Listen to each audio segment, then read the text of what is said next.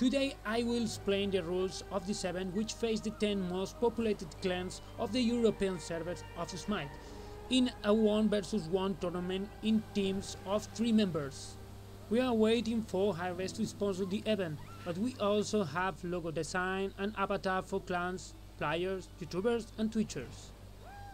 For the team selection, we checked the listings and invited the top populated clans to bring their three better players to the 1 vs 1 tournaments.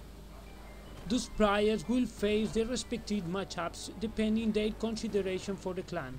So the best player of one clan will face the best of another one. The clan who wins 2 out of 3 games will be the winner. The matchups will be divided into rounds. The first one with 3 groups of 3 teams. This will determine the three champions by points that will fight at second round with each other for the top three spots. Do not forget to visit our website for more information. See you soon. Thanks.